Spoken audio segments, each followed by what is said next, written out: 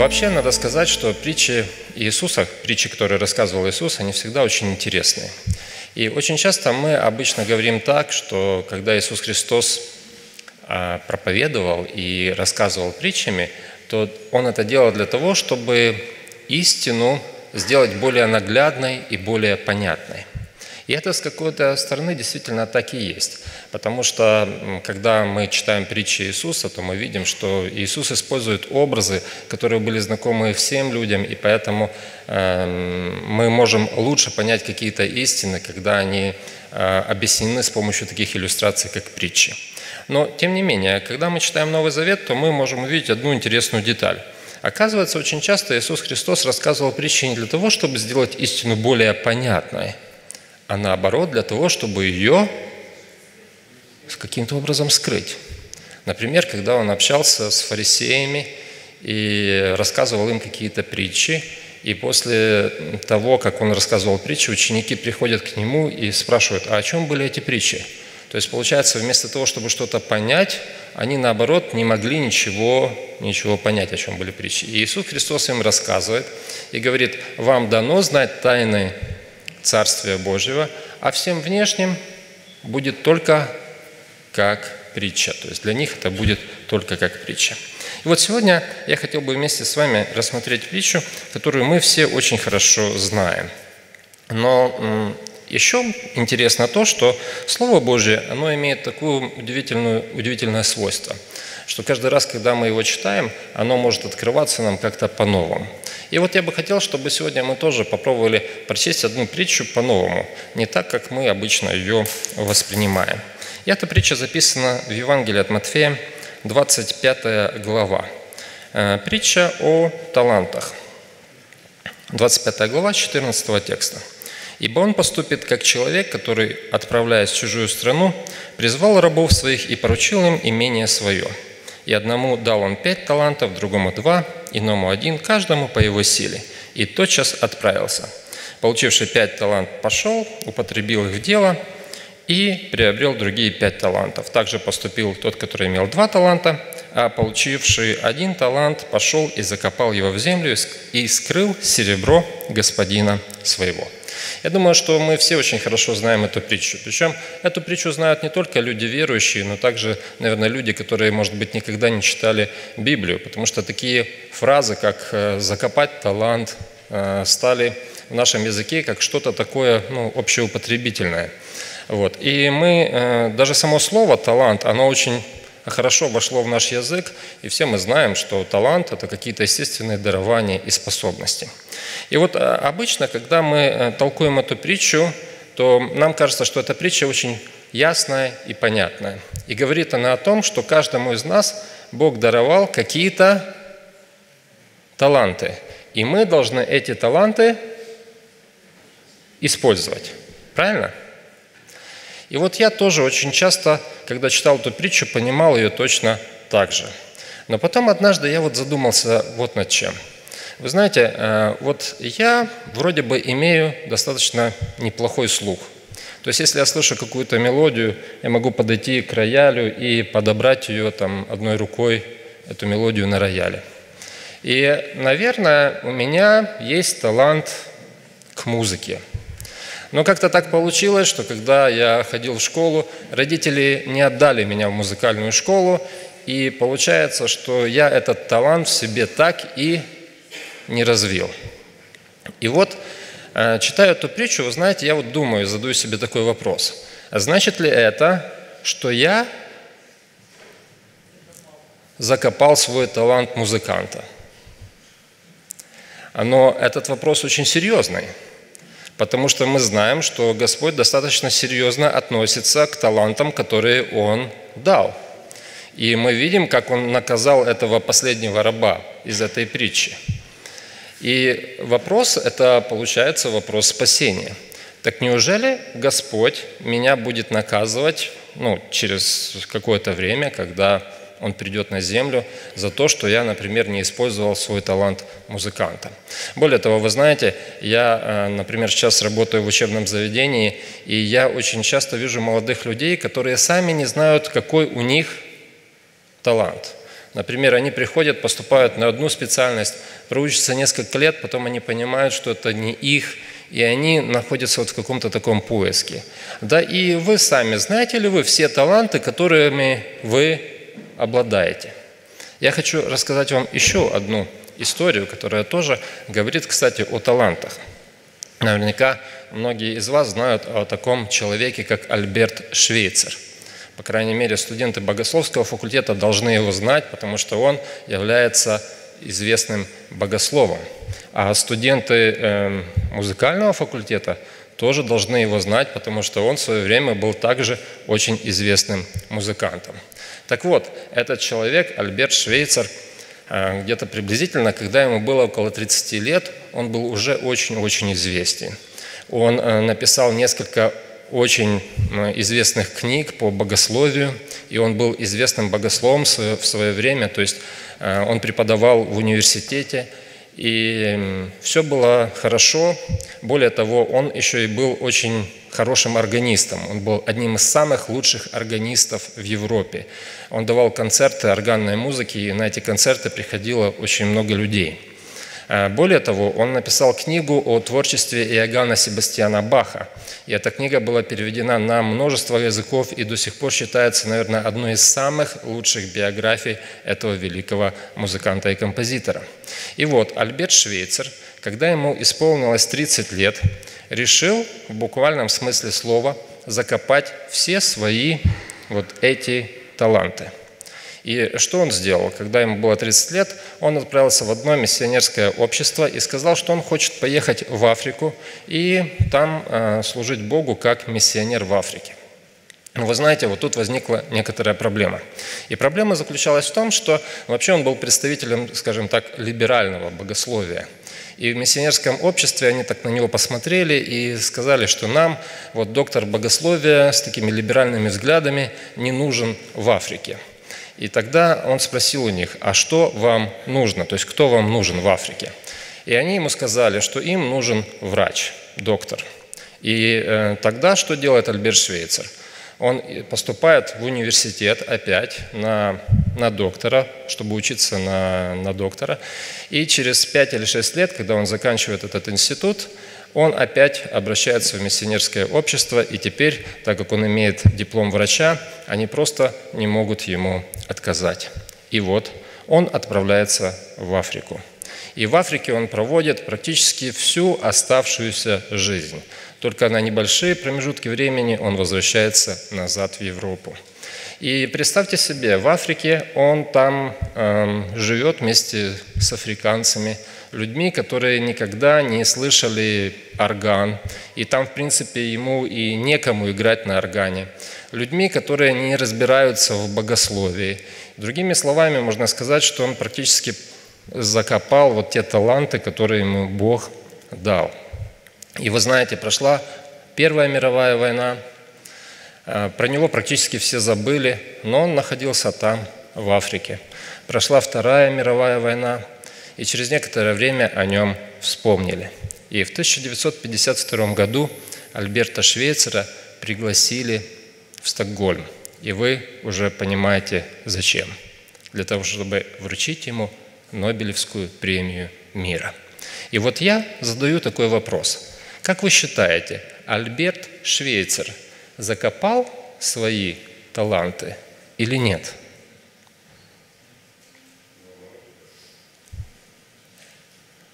Но ведь он был музыкантом, и он перестал играть и радовать других людей своей игрой на органе. Он был богословом, но он перестал писать книги о богословии. Все, что он делал, это проповедовал а, африканцам, лечил их и пытался им рассказать об Иисусе Христе. Итак, давайте все-таки посмотрим еще раз на эту притчу. О чем же на самом деле она? И что хотел сказать Иисус Христос, когда рассказал, нам, рассказал своим ученикам эту притчу? И э, когда мы ее читаем, э, здесь, в этой притче, э, мы давайте обратим внимание на вот этого слугу, на третьего слугу, потому что с первыми двумя, в принципе, здесь и так все понятно. А вот э, третий слуга. Э, смотрите, давайте попробую пересказать эту притчу своими словами. Э, представьте себе такую ситуацию, что э, к вам приходит какой-то богатый человек и говорит приблизительно следующее. Он говорит, ты знаешь, у меня вот есть, ну, представим, миллион долларов, да, я уезжаю в какую-то другую страну и э, вот не знаю, что нужно сделать с этими деньгами. Дело в том, что вот в банк отдать, ну банк отдать боюсь, потому что банки сегодня какие-то ненадежные. Вложить в какие-то ценные бумаги Э, тоже как-то ненадежно, потому что ценные бумаги тоже сегодня они что-то стоят, завтра они могут ничего не стоить. А вот я знаю, что ты человек честный, вот я хочу эти деньги доверить тебе. И вот он дает вам 1 миллион долларов. И вот как вы поступите с такими деньгами? Ну подумайте сами.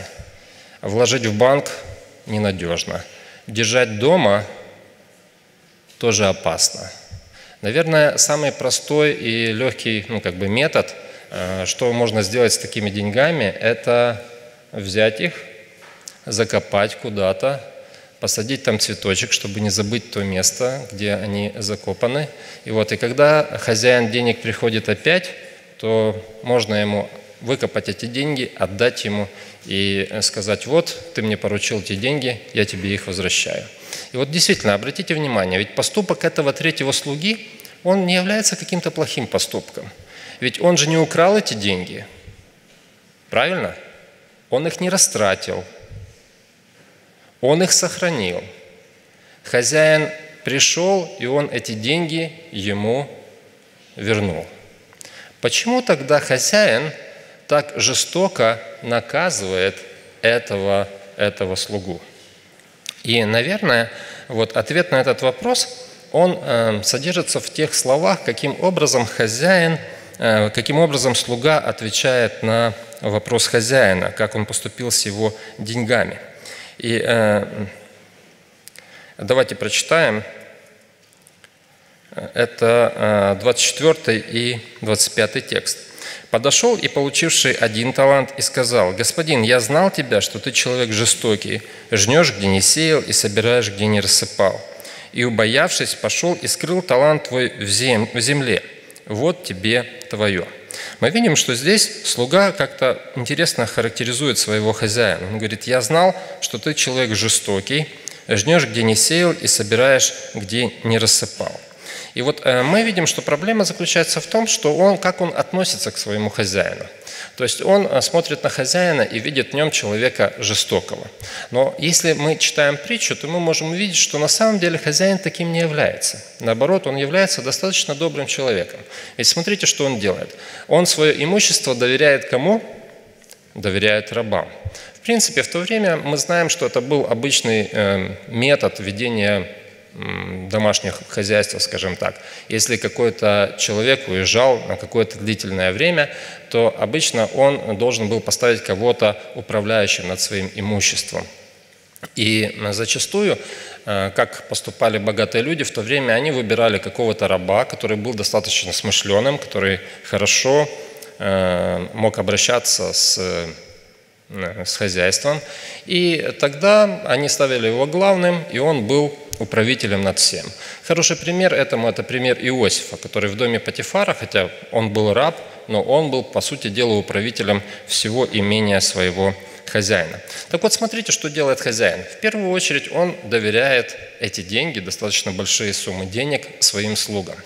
А теперь смотрите, что он дальше делает. Когда они приходят и приносят ему отчет, а, вполне логично было бы, чтобы он ну, забрал у них эти деньги, правильно? Или, по крайней мере, вот те проценты, которые они заработали, чтобы он забрал себе.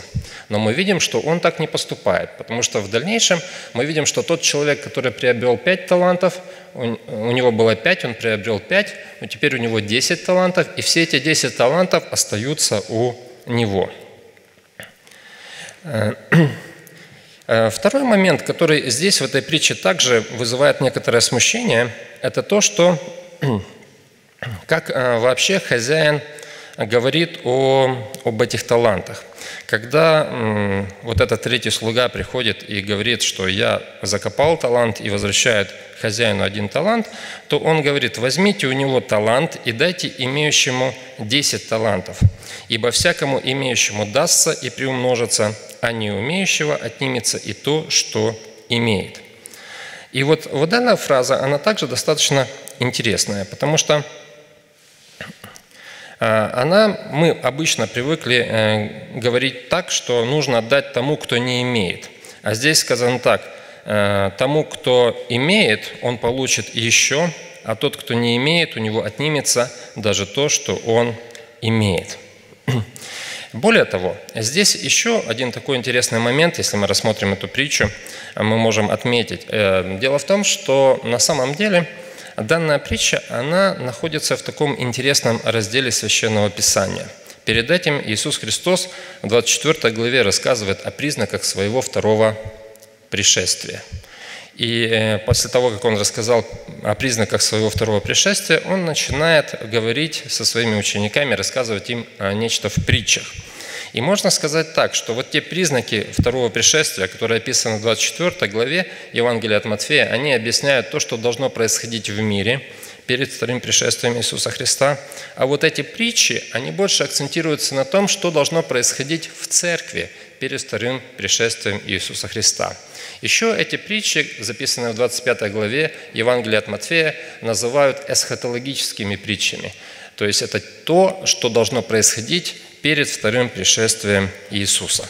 И вот если посмотреть на эти притчи вот именно с этой точки зрения, то их ценность, она еще больше повышается, потому что получается, что они учат не просто о каких-то моральных какие-то моральные уроки хотят нам дать, но они говорят о том, что будет происходить перед э, концом этого мира и какая ситуация будет в церкви перед вторым пришествием. Итак, э, сегодня, э, сейчас я хотел бы обратить ваше внимание еще вот э, на что. Дело в том, что вот эта вот фраза, которую говорит Иисус Христос вот этому слуге, возьмите у него талант, тот, который у него есть, и отдайте имеющему 10 талантов, она имеет ряд интересных параллелей в Евангелии от Матфея. Если мы откроем 21 главу Евангелия от Матфея, и здесь Иисус Христос в конце этой главы беседует с э, фарисеями. И когда он беседует с фарисеями, он э, говорит им следующие слова. 43 текст. «Потому сказываю вам, что отнимется от вас Царство Божие, и дано будет народу, приносящему плоды Его». Другими словами, можно сказать, что э, вот эта фраза, она похожа на то, как он поступает с третьим слугой – и действительно, между фарисеями и третьим слугой можно провести ряд параллелей. Смотрите, что он говорит фарисеям. «А, у вас будет отнято Царствие Божие, потому что вы его хотели э, только для себя сохранить, вы не хотели ни с кем этим царством делиться, и оно будет отдано тем, кто приносит плоды. И он поступил точно так же с этим слугой. То есть он забрал у него один этот талант и дал тому, кто приносил кто приносил плоды. Таким образом, получается, что талант в этой притче не означает какие-то наши естественные дарования или наши естественные наклонности, но он означает нечто большее. Другими словами, он говорит о Царстве Божьем или, или о спасении. И э, если э, рассмотреть дальше эту притчу, то надо понимать, что каждую притчу необходимо толковать в ее каком-то контексте – и если посмотреть, что предшествует этой притче, то мы можем увидеть, что перед этой притчей идет притча о десяти девах. И на первый взгляд между этими притчами нет никакой, нет никакой связи. Там девы, э, которые ждут жениха, тут хозяин и слуги. Но на самом деле связь есть.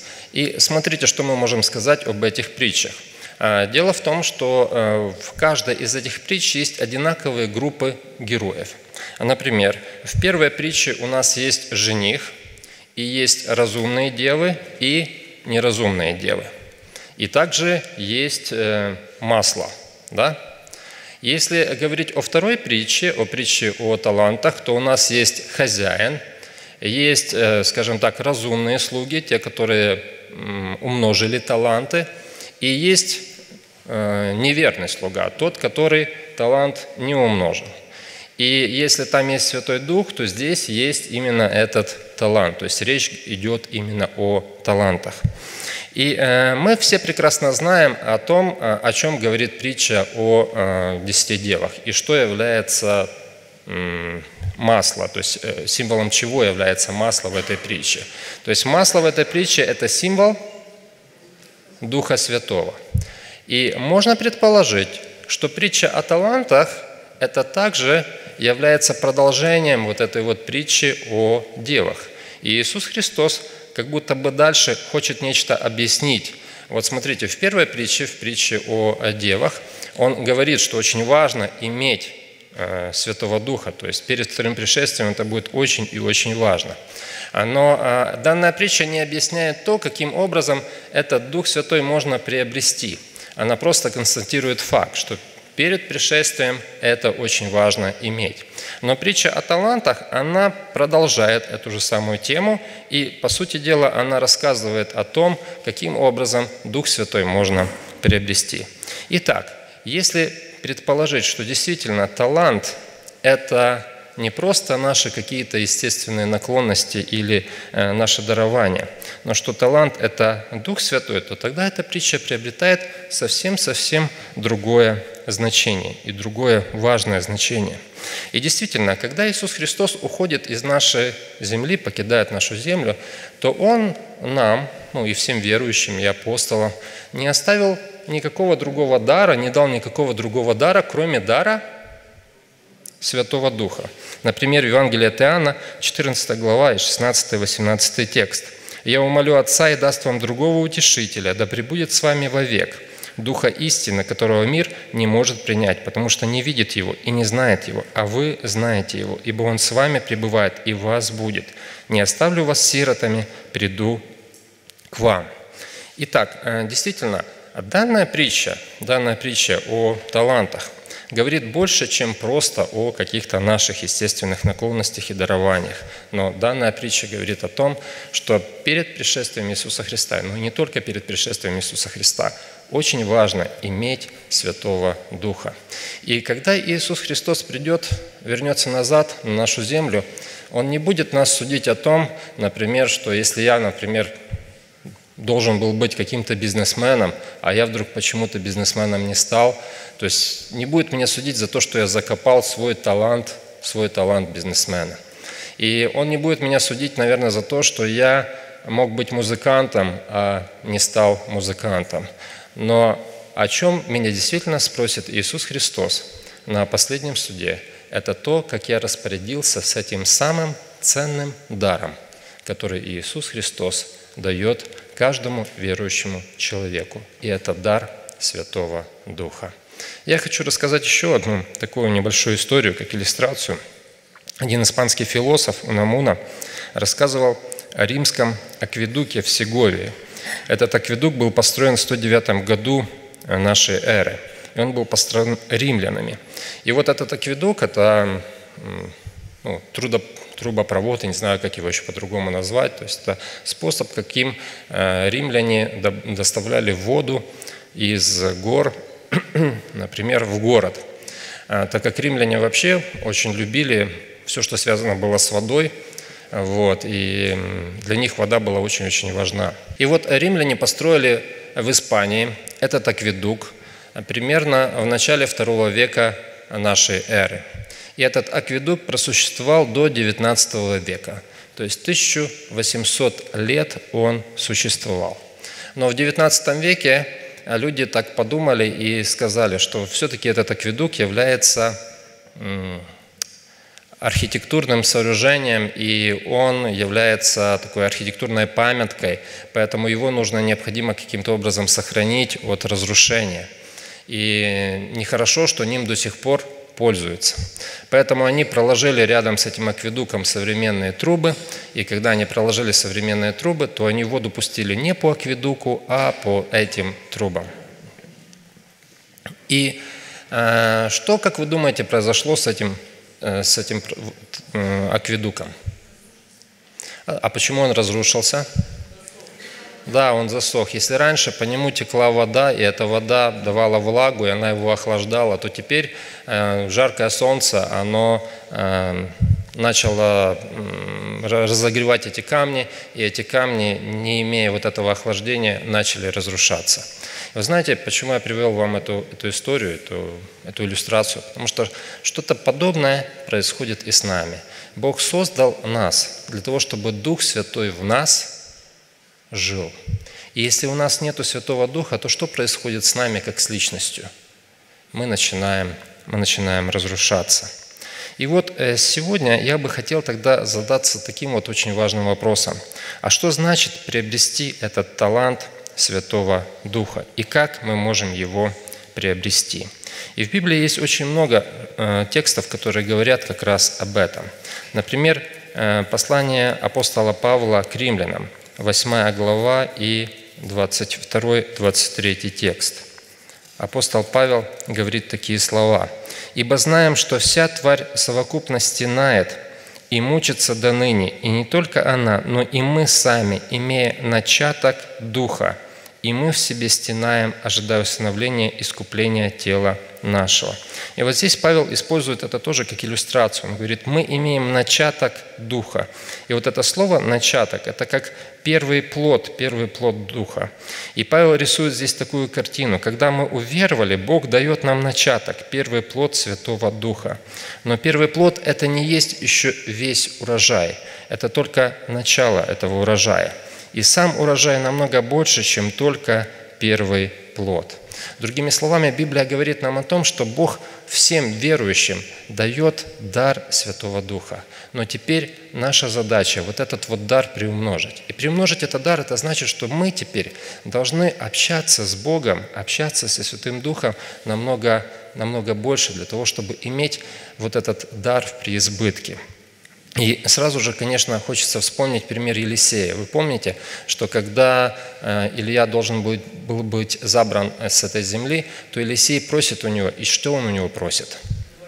Духа вдвойне. Он понимает, что только с Духом Святым он сможет выполнить ту миссию, которая была на него возложена. Итак, если Дух Святой – личность, то мы можем иметь, чем больше мы имеем общения с Ним, тем больше этот дар – Э, умножается в каждом из нас. И здесь используется такой духовный закон. Если ты что-то не используешь, если ты не используешь этот талант, то ты его теряешь.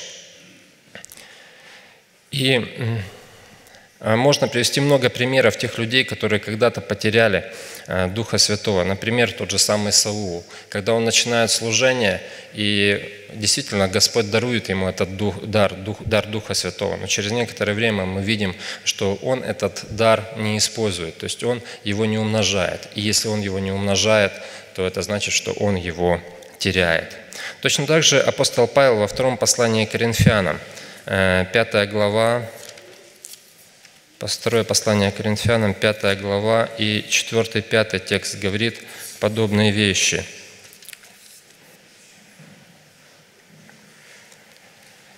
«Ибо мы, находясь в этой хижине, вздыхаем под бременем, потому что не хотим совлечься, но облечься, чтобы смертное поглощено было жизнью.